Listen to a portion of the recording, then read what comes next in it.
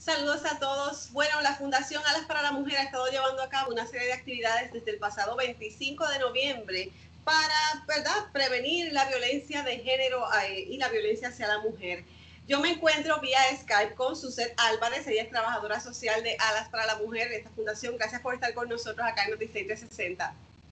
Muchas gracias a ti. Bueno, yo quisiera que comenzáramos. ¿Cómo podemos prevenir la violencia hacia la mujer que sabemos que lamentablemente sigue en aumento en nuestro país y es un problema real y que hay que darle bastante atención? Pues mira, hay diversas formas de hacerlo, ¿verdad? Nosotras apostamos siempre a lo que es la educación.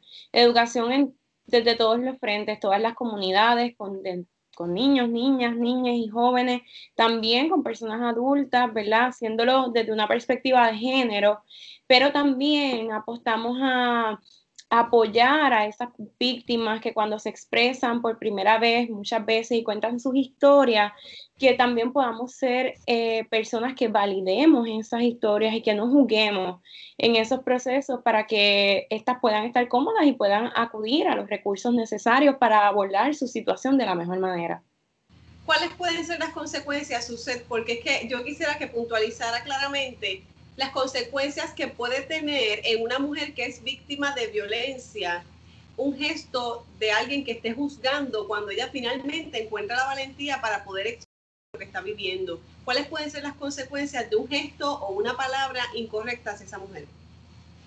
Es un retroceso en el proceso de cada mujer, como tú bien planteas, Zoraida tomar la decisión de salir de una relación en una sociedad patriarcal, machista, que envía tantos mensajes contradictorios a las mujeres, que en muchas ocasiones, eh, ¿verdad? Esos mensajes son de que las mujeres tenemos que tolerar todas cosas por amor, por tener un padre para nuestras hijas, mantenernos en esas relaciones. Son muchos mensajes contradictorios mientras otro lado te dicen que no puedes tolerar o que eres una mala madre si estás en un proceso de violencia y expones tus hijos a esa violencia. Entonces, en esa confusión, toma mucho tiempo a veces darse cuenta de que estamos explorando o experimentando una situación de violencia doméstica, por ejemplo, o también eh, es un retroceso, ¿verdad? Cuando por fin damos ese paso y entonces con lo que nos topamos es con un proceso revictimizante para nosotras o con personas que no confían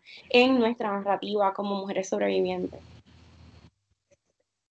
¿Cuáles son algunas de, algunos de los servicios o ayudas que ofrecen en Fundación Alas para la Mujer para aquellas sobrevivientes? Bueno, nosotras tenemos lo que es, eh, servicios psicosociales. Aquí la mayoría somos trabajadoras sociales que trabajamos en procesos de acompañamiento con las víctimas sobrevivientes.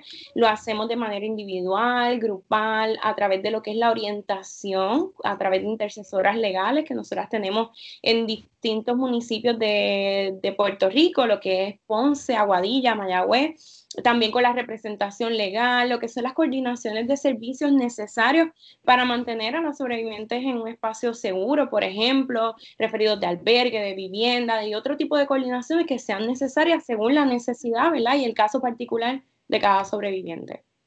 Los interesados en obtener más información o que quieran algún servicio, ¿a dónde pueden comunicarse o a qué portal pueden acceder?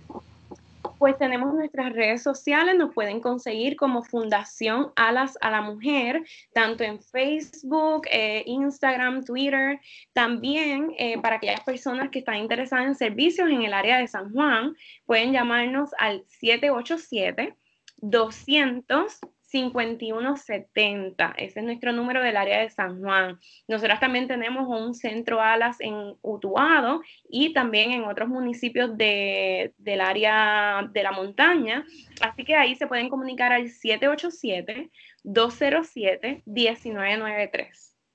Pues muchas gracias, Suset, por esta orientación y por el trabajo que realiza y esperemos, ¿verdad?, que cada día pues siga eh, mermando esta violencia hacia las mujeres. Gracias por estar con nosotros acá en Noticias 360. Amigos, continuamos con más.